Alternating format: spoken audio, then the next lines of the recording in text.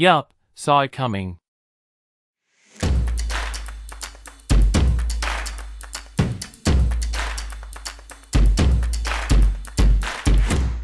Hi guys, how are you?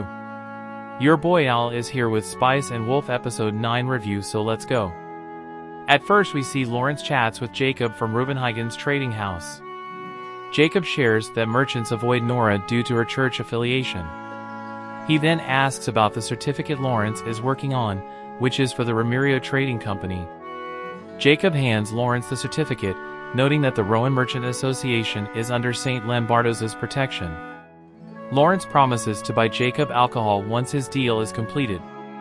Later, Lawrence regroups with Holo and they go for a stroll. Holo mentions she overheard his conversation with Jacob. I didn't quite understand why Jacob was telling Lawrence to cut ties with Holo when Jacob didn't even meet her. I mean I know it's a medieval setting, but Jacob looks to be fairly broad-minded, so I found it to be a bit weird. We see Holo is upset with Lawrence and Jacob's comment about her being a mere investment. Lawrence assures her he didn't mean it crudely, and Holo thanks him for his sincerity. Holo then asks Lawrence to show his sincerity by buying something for her, leading to a playful back and forth. They hold hands and head off together. Meanwhile, Nora greets the church's priest and asks if she can take the sheep to a safer location, which he approves. Later, Lawrence and Holo discuss Lawrence's good mood, the concept of debt, and his plans to sell goods to the Remerio Trading Company. As they arrive at the Remerio Trading Company, Holo senses something is amiss. The Nora thing confirms that some members of the church abuse their powers at the very least, and this kinda implies that our duo will have a very tough time dealing with the church when they bump heads. Also the way Holo tried to trick Lawrence was hilarious. Next we see Lawrence and Holo enter the building and speak with an official. Lawrence asks several questions and senses it's not a good time to negotiate.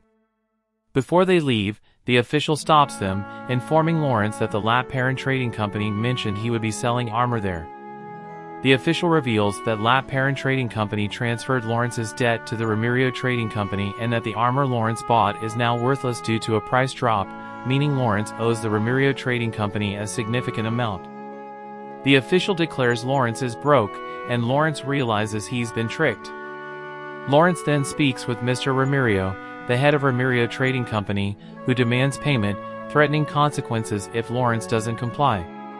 Lawrence accepts and is given two days to meet the deadline. He assures Remerio he'll manage it somehow. Lawrence then regroups with Holo and informs her of their dire situation. At first I thought Lawrence being so carefree was due to slightly bad writing, but after giving it some thoughts I realized that he was intentionally written in such a way. So that the audience can understand what can happen if someone is careless. I honestly love this sort of writing. Moving on we see Lawrence insists they can't flee and must handle the situation differently. Holo promises to help, and Lawrence reminds her of his plan to take her to the north. However, he mentions he might need her to rescue him at some point. He asks Holo to wait at the inn while he visits the Rowen Merchant Association for assistance. Despite his reluctance, Holo convinces Lawrence to bring her along. They visit Jacob, and Lawrence introduces Holo to him. Lawrence and Jacob then discuss the Latparron Trading Company and Remerio Trading Company debacle, with Lawrence admitting he got greedy and should have been more cautious with the Latparron Trading Company deal. Returning those armors and asking for refunds would be the most logical thing to do, but I'm guessing Lawrence can't do that because his debt got transferred to another company or maybe he made a no refund deal. Also, it was nice to see how worried Holo got for Lawrence. Then we see Jacob tell Lawrence that the Rowen Merchant Association would help if his situation involved robbery, sickness, or injury, but understands this case is different. He has Lawrence confirm the consequences of missing the deadline, stating he doesn't want Lawrence to endure harsh labor but believes sins must be punished. Jacob promises support without immediate detention and wishes Lawrence luck, reminding him that some businesses have loopholes. Lawrence vows to repay the money and leaves the Rowen Merchant Association with Holo. During their walk, Lawrence reveals his plan to tackle the debt by incurring another debt. He visits another location and asks an official for cash, but the official explains their business is tight on funds.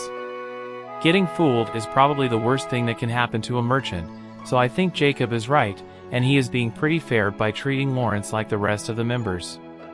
Also this part shows that even if you help someone, they might not return the favor when the time comes. At the end we see Lawrence try several locations without success. Eventually, he finds a place willing to give him money, but the man refuses when he sees Lawrence begging with a woman. Lawrence leaves, and Holo tries to comfort him. Frustrated, Lawrence blames Holo for his troubles, causing her to leave for the upset. Lawrence is left grieving. Lawrence saying something bad out of sheer frustration in such a situation is quite understandable.